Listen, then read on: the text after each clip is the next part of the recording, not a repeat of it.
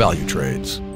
Welcome to this week's Market Blast Fundamentals, where we will look at GBP USD, gold, the Dow Jones Industrial Average, US oil, and UK oil. The price of crude oil is rising this morning with production cuts and the potential of increased demand. However, watch for volatility this week as the June contract will be closing Tuesday and storage issues may still exist if you recall last month's crash.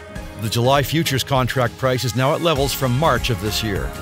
Also, watch for Wednesday's WTI inventories.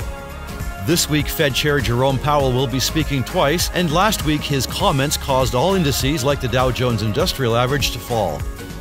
All indices are starting to consolidate now and likely will need to see positive news on a vaccine for coronavirus and positive news on the spread of the virus as economies try to return to normal.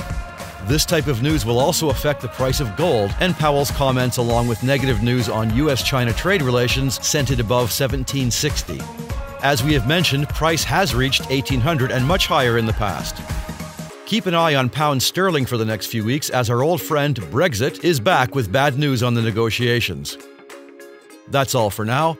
Happy trading with Valutrades, and we will see you tomorrow. CFDs and FX are leveraged products, and your capital may be at risk.